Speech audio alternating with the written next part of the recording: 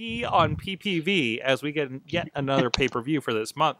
So Just hook it to my veins. the WWE That's network. basically it, right? I mean, we just had Takeover. We're all recovering and talking about that. There's no room for anything else except for Lucha Underground. I will be catching up on Lucha Underground, by the way. I have vowed this. I don't know where I'm going to start necessarily, but I, I, I'm aiming at January. But other than that, but Elimination Chamber is coming up this week. Uh, of course, first of all, the tag team chamber match. I, I'm not even thinking about who wins this. I'm just considering what's going to happen in this thing, right? Where are you going to fit them all? Where are you going to fit them all? We had a three on ten tag team match this week, and that looked pretty full. Where are you going to put everybody here? What are they going to? What's going to be the play for the uh, three members of the New Day? When is I'm just Bo Down- hoping that there's pop up panels for Xavier Woods and El Torito, There you go. When, and even Natty. when is uh in, in the question that I've added on this week? When is Bo Dallas going to join the New Day? Yeah, he should. He should be the Owen Hart. The Owen Hart. Yeah. And So the you nation should always you should always get the clapping wrong. Don't be racist.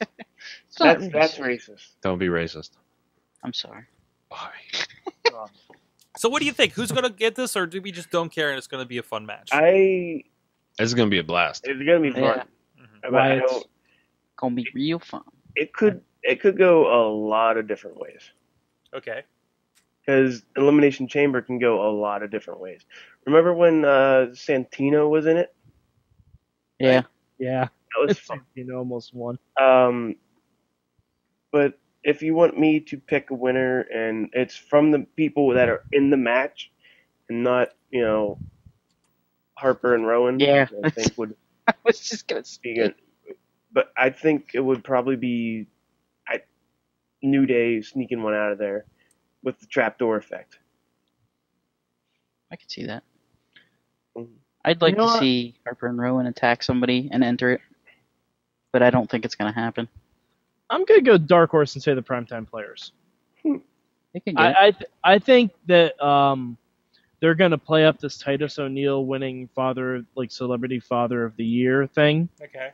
I think they're really gonna play that up, especially with Father's Day right around the corner. If they have him be a tag team champion at that time, I think it works. And uh, with Darren Young, you know, making moves, making moves, making million dollar moves. mhm, Exactly. Yeah, I think New Day's gonna squeak one out. I agree.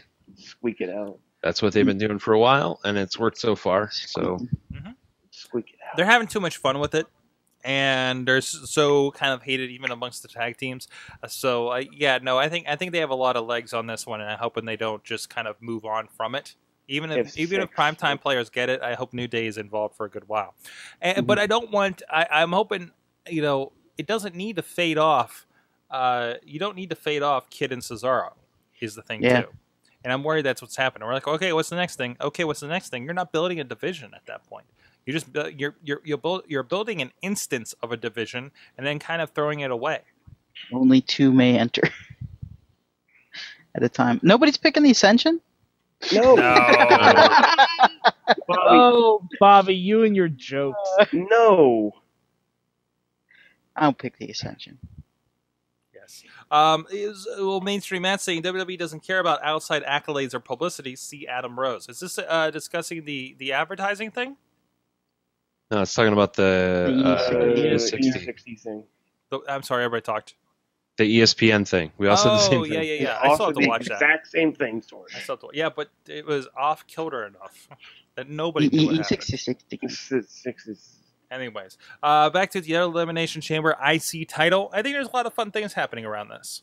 mm-hmm. We all know who's gonna win. R Truth. Rusev? Wait, No, I think it's gonna be Sheamus. No, I No. No, I, I don't think, think it's so. gonna be Sheamus. nope. I'd say Rusev. Anytime you have a multi-man match, you always say it's gonna be Sheamus. now, especially with his new haircut. Who has more of a uh. chance in that match, Barrett or R Truth? Barrett. Barrett. I'd, I'd Barrett. honestly say Barrett. R Truth. R Truth. Yeah. Barrett's the I'd king. I know. I know. It, it, it, it, it's probably a joke coming from you, but anybody can win any any of this.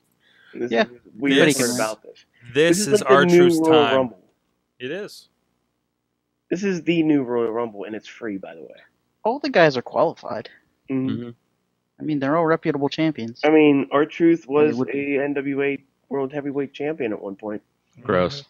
I think Gross. Bacon's gonna sneak out as the champ again through a trapdoor. And drop kick. Going back to non-chamber matches, no, of course. no the, one thinks Ryback is going to win. the huh? ti- Uh, title match between uh, uh, Seth Rollins and Dean Ambrose. Rollins has that belt through SummerSlam at least. I think I so. wonder if Kane interferes.